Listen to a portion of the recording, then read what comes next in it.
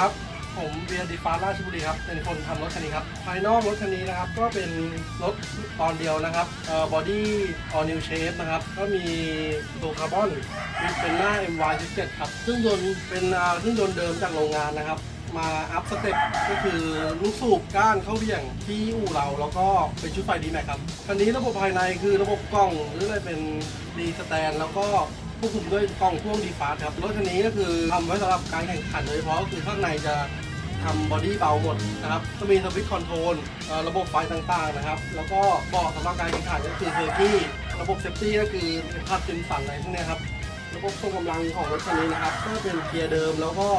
ช่วงล่างนะครับ เป็นโชคของวินเนอร์เออาร์คู่ครับถังน้ำมันปีเนียมโชควินเนอร์สี่ต้นครับหน้าหลัง สุดท้ายนี้ฝากรถคันนี้ไว้ในนิตยสาร Race Truck Magazine ด้วยนะครับ